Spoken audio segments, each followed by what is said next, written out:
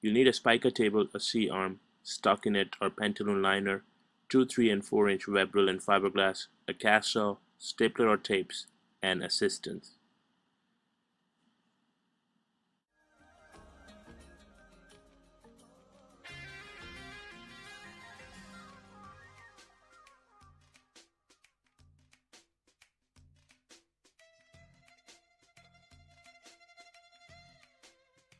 This is a two-year-old female child who underwent a left femoral neck biopsy followed by one and a half spica cast application. A stockinette is folded over itself and then placed around the body from the armpits to the mid-thigh. Three or four folded towels are placed underneath the stockinette. Ideally, the folded towels should end at around the level of the belly button so that an anchor point can be achieved for the cast around the pelvis. You don't want to pull the towels all the way through, otherwise you would not get a snug fit around the pelvis. Instead of a stockinette, a Gore-Tex liner or a pantaloon liner can be used. Since this liner is waterproof and breathable, it avoids skin issues in young children or in those kids where contamination of the cast is a possibility. It is placed like a bunny suit over the legs the abdomen, and the chest wall.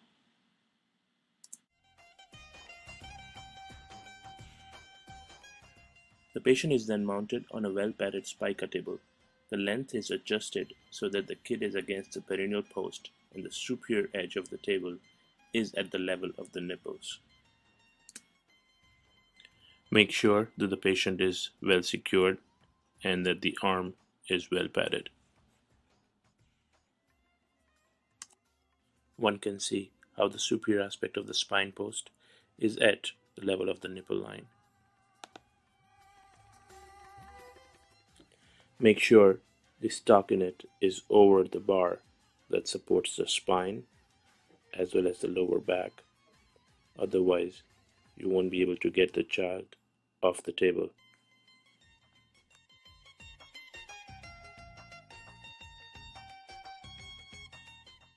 For proper positioning, the foot and the hip should be in the same plane.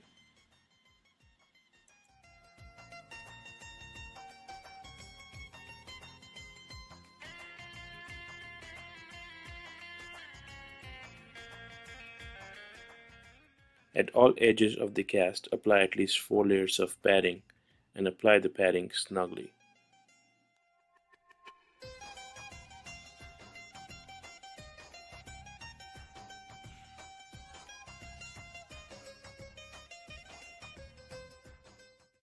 Make sure the padding extends all the way down to the perineal post.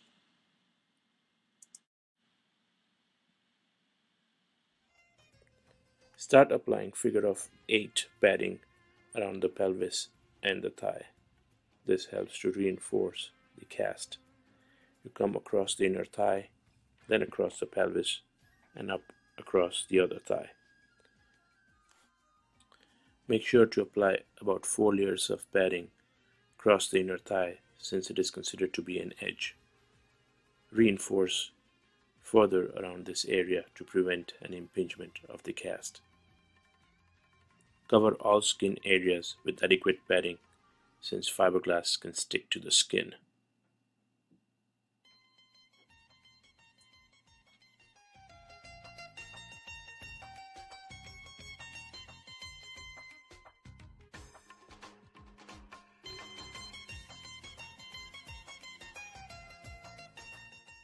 All the bony prominences are well padded, including the patella, the femoral condyles, the fibular neck, the malleoli, and the heel.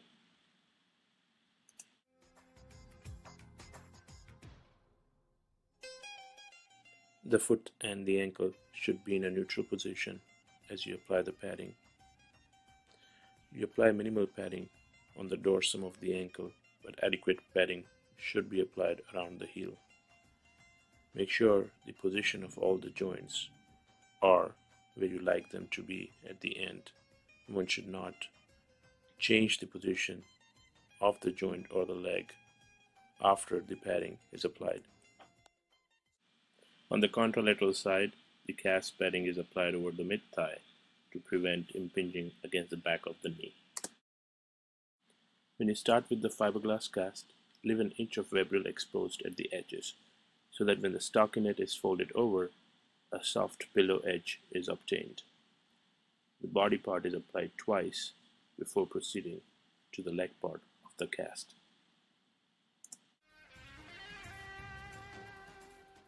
A figure of 8 reinforcement is then applied using the fiberglass just like it was done with the padding.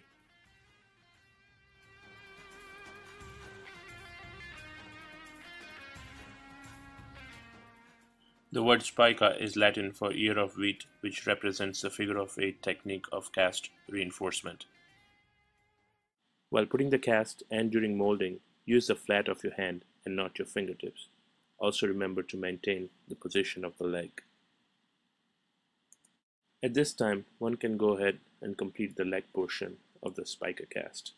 The excess stockinette is cut and folded over, and a few layers of fiberglass are applied. The foot is held in neutral position with the flat of the hand. The foot can also be left out of the cast and a cylinder cast could be applied.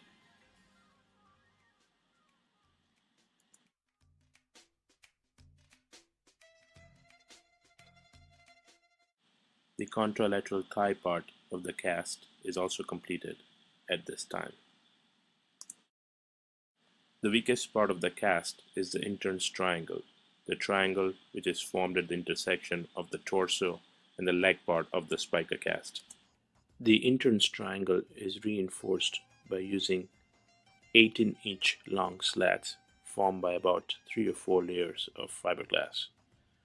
The slats are dropped around the inner thigh close to the perineal post in a way that it covers the Intern's triangle and then they are further locked in by rolls of fiberglass.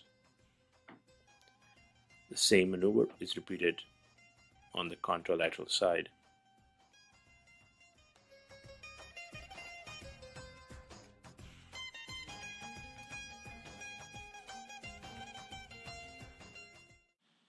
The C-arm is used intermittently to verify the reduction of the fracture or position of the hip. The cast is checked and once it's dried, the spica table is then unlocked. The lower part of the table is pulled distally and the patient is pulled gently in the southern direction. As the patient is supported adequately, the spica table is then carefully removed.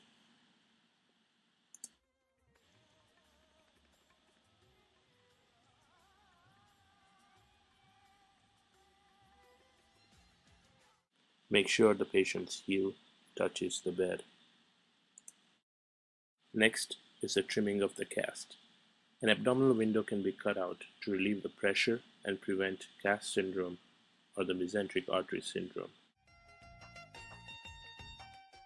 Around the perineum, the cast is cut on the medial aspect of the thigh to achieve an area that's 4 finger breadth wide.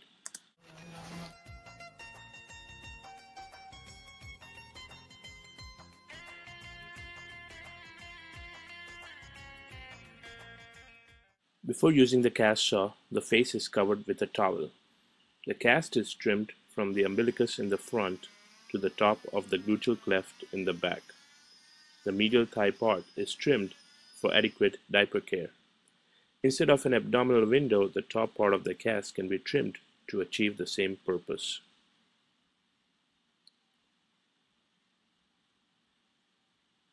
All sharp edges of the cast are trimmed. Excessive trimming can weaken the cast and hence only necessary trimming is performed. Again, 4 finger breadth wide area is obtained. On the top, the towels and the cutout would allow adequate space for thoracic and abdominal expansion. The towels are then removed. Make sure you have enough room and both fingers can touch each other. The patient is then log rolled onto the unaffected side and posterior trimming is continued. The cut from the anterior trimming is connected posteriorly till the top of the gluteal cleft is exposed. Trimming should not extend lateral to the mid buttocks to maintain adequate integrity of the cast.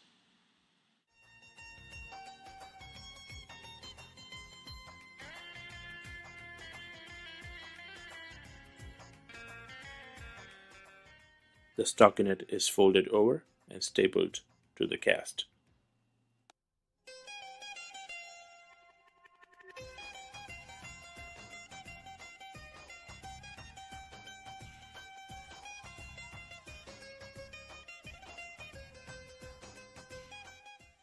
Once the stockinette edges are folded over, another layer of fiberglass would be applied. If one is concerned about the strength of the cast, a bar can be added at this time The bar could be either a wooden bar or it could be a St. Louis arch made by twisting of fiberglass material.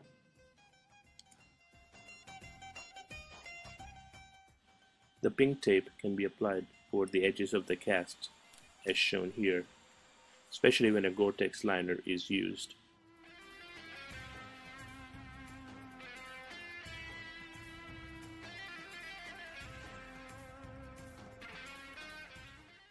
Secure all edges of the stockinette with couple of layers of fiberglass.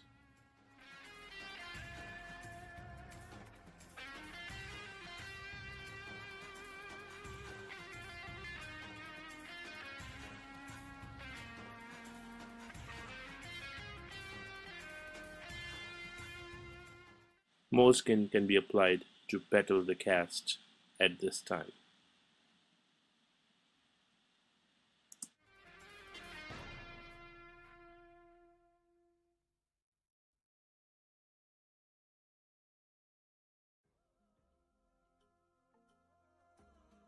The best cast is applied in the operating room and not the emergency room as assistance is of utmost importance. The assistant can either sit on the table, stand on the edge of the table, or an assistant can stand on each side of the table. The Spica table is a modular table with an armrest, spine support, and perineal post. The traditional Spica table has metal parts which can interfere with fluoroscopic imaging, as shown here. The newer radiolucent tables have the advantage of allowing adequate radiographic visualization, as seen in this case.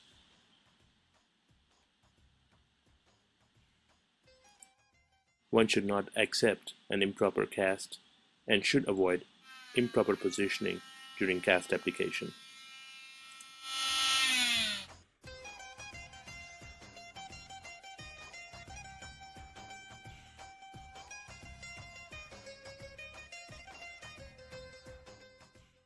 The commonest complications of spica cast are skin issues, pressure sores, and malunion or shortening.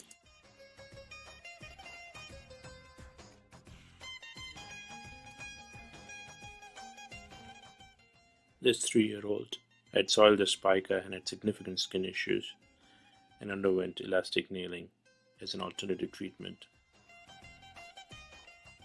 Spica casts are not waterproof. If wet, they should be removed and the skin should be treated with a moisturizing lotion like Aquaphor.